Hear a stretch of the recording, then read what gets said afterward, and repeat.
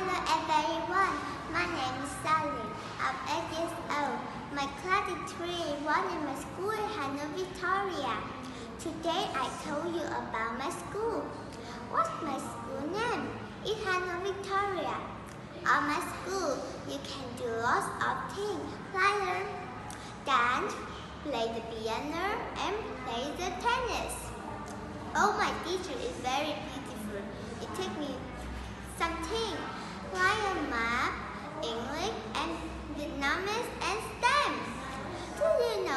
How many people studying on my school? It's 240 students. You have time, please go and visit us.